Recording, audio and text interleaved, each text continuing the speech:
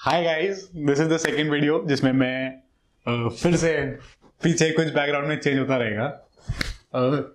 ये वीडियो मैंने इसलिए बनाया है क्योंकि जो भी अपकमिंग फोटोग्राफर्स या वीडियोग्राफर्स या फिर मतलब अगर आपको अपनी लाइफ में कुछ भी काम करना है ना तो आप बस एक डीएसएलआर लो और आप फ़ोटो खींचना शुरू कर दो। क्योंकि हर कोई बंदा जिसके पास कैमरा होता है, वो एक फोटोग्राफर होता है। तो ये बात मैं बहुत ही सकास्टिकली कह रहा हूँ। लेकिन असलियत ये है कि ऐसा कुछ नहीं होता है। अगर आपके पास कैमरा है, अगर आप ऑटो में फ़ोटोज़ खींच रहे हैं या मैनुअल में फ़ोटोज़ खींच रहे हैं तो आपको ही पता होगा कि कितना हार्डवर्क लगता है। ऑटो फोकस में रैंडमली आप एक दो क्लिक करोगे और अच्छे आ जाएँगे, लेकिन यार अब थोड़ा बहुत तो सीखना पड़ता है ना बॉस तो जो भी लोग ऐसा सोचते हैं कि हमने कुछ किया नहीं है लाइफ में और हम बस कैमरा उठा के, मुँह धो के निकल पड़े फोटोग्राफी करने। तो ये चीज़ बहुत ही गलत है। आई स्वेयर बहुत ही गलत है। कभी कभी तो बहुत दिल को छू जाती है और हर्ट होता है। क्योंकि घर पे भी ऐसा ही था कि घर वाले चाहते थे कि आप कुछ और बनो हम चाहते थे कि हम कुछ और बने।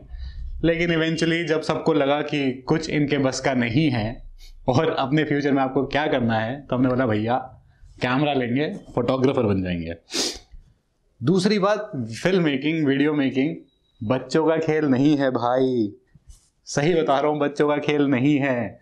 हम लोग साला स्क्रिप्ट लिखते हैं सीन्स डिसाइड करते हैं, जगह जगह जाके शूट करते हैं, घर आते हैं, देखते हैं कि शूट सही नहीं हुआ, फिर वही चीज़ दोबारा करते हैं।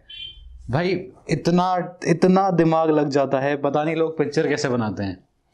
फिर उसके ऊपर से लोग उनको क्रिटिसाइज करते हैं कि भैया, आपकी वीडियो में ये ये दिक्कत थी आपने ये नहीं किया। अरे भैया, ये तो देखो कि बंदा बना रहा है ट्राई कर रहा है। चलो, वो तो कोई नहीं। तीसरी चीज़ मैं आपको बताता हूँ। हम लोग जब वीडियो बनाते हैं और कुछ भी करते हैं तो जो बेसिक काम होता है, वो जो पूरी टीम जो कैमरे के पीछे होती है, वो करती है। और जो एक्टर्स और जो मतलब आप स्क्रीन में विजिबल देखते हो चीज़ें उनको वो सब कौन करवा रहा होता है? डायरेक्टर करवा रहा होता है असिस्टेंट डायरेक्टर करवा रहा होता है कोरियोग्राफर्स या स्टंट्समैन जो भी होता है, जो कि आज तक हमने यूज़ नहीं किए हैं हमारे वीडियोस में, वो सब कराते हैं। तो प्लीज़ अगर आप किसी को अप्रिशिएट कर रहे हो तो पूरी टीम को करो, क्योंकि एक वीडियो में आप जो भी देखते हो, वो किसी इंडिविजुअल पर्सन की वजह से नहीं है। वो पूरी टीम की वजह से है। तो प्लीज़ अगर आप अगली बार कोई मूवी देखने जाओ, जो कि तीन घंटे की हो या दो घंटे की हो या एक घंटे की हो या दस मिनट की हो तो प्लीज़ आप एटलीस्ट ऐसा मत बोलो कि मूवी बहुत ही बेकार थी। दो कुछ मूवीज़ बहुत ही बेकार होती हैं। लेकिन आप थोड़ा टाइम और एफर्ट निकाल के ऐसा बोल सकते हो कि यार, ठीक काम था यार, बंदों ने कितनी मेहनत करी। अब सबसे जो जो मेन चीज़ है, वो आती है स्क्रिप्टिंग की। भैया हमसे लोग कहते हैं कि भैया, हमें ये शॉर्ट फ़िल्म बनानी है। आप कुछ अच्छा क्यों नहीं बनाते? अरे भाई स्क्रिप्ट कहाँ से लाए हैं? हम साला रात भर बैठ के सोचते रह जाते हैं कि भाई, कल को ये चीज़ करेंगे, परसों कुछ ऐसा लिखेंगे। यार, नहीं हो पाता। हम लोग कितना भी ट्राई कर लें, कितना भी ट्राई कर लें, एक वो जो लेवल होता है ना इंसेप्शन वाला मूवी की बात कर रहा हूँ। इंसेप्शन वाला, वो साला दिमाग में नहीं आता। और क्योंकि अभी हम थोड़ा स्टार्ट ही कर रहे हैं।